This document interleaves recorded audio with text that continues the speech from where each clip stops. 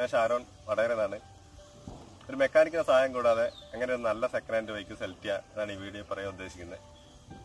പ്രധാനമായും പത്ത് കാര്യങ്ങളാണ് ശ്രദ്ധിക്കേണ്ടത്. അതിൽ ഒന്നാമത്തെ ഏറ്റവും ഇമ്പോർട്ടന്റ് ആയ കാര്യം എന്ന് വെച്ചാൽ എഞ്ചിന്റെ വർക്കിംഗ് ആണ്. അപ്പം ജസ്റ്റ് എഞ്ചിന്റെ വർക്കിംഗ് ടെസ്റ്റ് ചെയ്യാൻ വേണ്ടി എഞ്ചിന്റെ സൗണ്ട് ഒന്ന് ടെസ്റ്റ് ചെയ്ത് നോക്കാം. സൗണ്ട് അബ്നോർമലായിട്ട് എന്തെങ്കിലും സൗണ്ട് ഉണ്ടെങ്കിൽ അത് എഞ്ചിന് കാര്യമായിട്ട് പ്രശ്നമുണ്ടെന്നാണ് അർത്ഥം. എഞ്ചിന് വരുന്ന അടുത്ത കാര്യം എന്താണെന്ന് വെച്ചാൽ തലസ്ഥ പുകയാണ്. കുറച്ച് രീതിയിൽ ആക്സിലേറ്റർ കൊടുത്താൽ പുകയൊന്നും വരുന്നില്ല ഏകദേശം എഞ്ചിൻ ഓക്കെയാണ് വൈറ്റോ ബ്ലാക്കോ പുക വരുന്നില്ല മാക്സിമോ അത് ഒഴിവാക്കുന്നതായിരിക്കും ബെറ്റർ അടുത്ത ശ്രദ്ധിക്കേണ്ട കാര്യം എന്ന് വെച്ചാൽ എഞ്ചിൻ ഒരു ലീക്ക് ഉണ്ടോ എന്നാണ്. അപ്പോൾ അതാ ഇതിന്റെ ഹെഡ് ഗ്യാസ്കറ്റ് ലീക്ക് കാണുന്നുണ്ടല്ലോ അതുപോലെ ഒന്ന് ശ്രദ്ധിച്ച് നോക്കുക. ഇമ്പോർട്ടന്റ് ആയ കാര്യം എന്ന് വെച്ചാൽ ടയറിന്റെ കണ്ടീഷനാണ് ഒരു ടയറിന് ഏകദേശം ഒരു ആയിരത്തി അഞ്ഞൂറ് രണ്ടായിരത്തി അഞ്ഞൂറ് റേഞ്ച് വരുന്നുണ്ട് അപ്പം ടയറിന്റെ കണ്ടീഷൻ എന്താ നോക്കാന്ന് വെച്ചാൽ ടയർ റീസോൾ ആണോ? അല്ല ഒറിജിനൽ ടയറാണോ നോക്കുക പിന്നെ എന്ന് വെച്ചാൽ റിമ്മിന്റെ കണ്ടീഷൻ ഒന്ന് ജസ്റ്റ് ടെസ്റ്റ് ചെയ്യുക ഇതിന്റെ തന്നെ റിമ്മ് കണ്ടോ? പൊട്ടിയ റിമ്മാണ് അപ്പോൾ അങ്ങനെ ഒരു കണ്ടീഷൻ വരും. വാങ്ങിക്കഴിഞ്ഞാലാണ് അതിന്റെ അവസ്ഥ മനസ്സിലാവുക.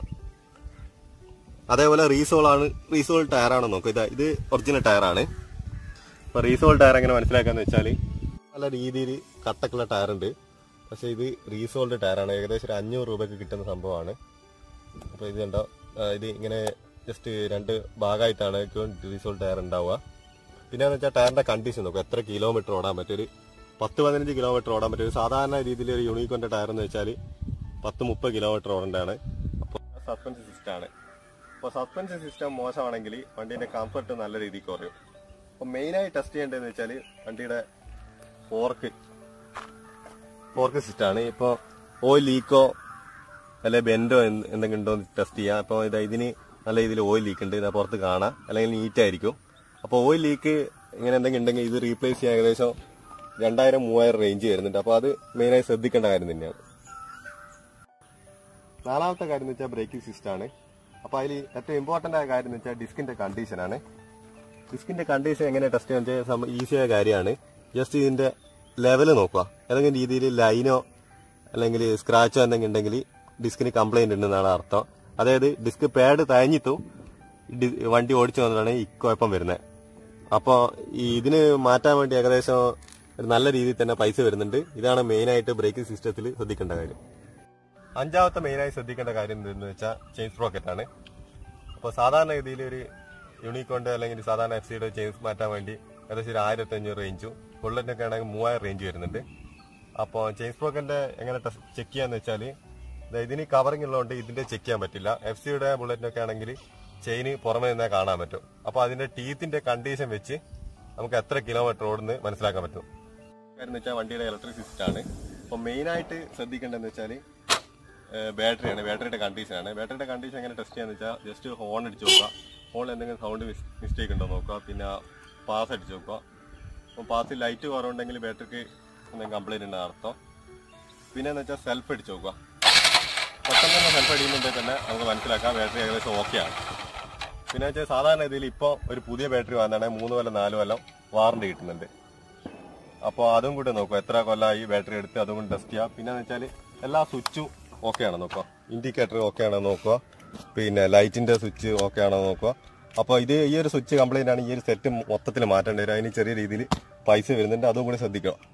അങ്ങനത്തെ കാര്യം എന്താ വെച്ചാൽ വണ്ടിയുടെ ചേസിസിനെ കുറിച്ചാണ് ശ്രദ്ധിക്കേണ്ടത്. അപ്പോൾ ചേസിസിൽ എന്തെങ്കിലും ബെൻഡോ വെൽഡോ എന്ന് അതാണ് നമ്മൾ മെയിൻ ആയിട്ട് നോക്കേണ്ട കാര്യം.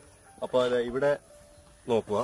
ഇപ്പോൾ ഇവിടെ അസ്വാഭാവികമായ രീതിയിൽ ഏതെങ്കിലും തരത്തിൽ വെൽഡിങ് ചെയ്തിട്ടുണ്ടെങ്കിൽ ഇതിന് കാര്യമായ ആക്സിഡന്റ് പറ്റിയിട്ടുണ്ടെന്നാണ് അർത്ഥം. പിന്നെ എന്ന് വെച്ചാൽ പെട്രോൾ ടാങ്കിന്റെ ഉള്ളിൽ തുരുമ്പുണ്ടോ നോക്കുക. അപ്പൊ ഇതിന്റെ നോക്കുന്നതാണ് ഇത് ഏകദേശം പെർഫെക്റ്റ് ആണ്. ഇതിന്റെ അടി നോക്കിയാൽ മനസ്സിലാവും. പെർഫെക്റ്റ് ആണ്. തുരുമ്പുണ്ടെങ്കിൽ പുറമെ നിന്ന് കാണാൻ പറ്റുന്നതാണ്. അപ്പൊ അതൊക്കെയാണ് മെയിൻ ആയിട്ട് ശ്രദ്ധിക്കേണ്ട കാര്യം.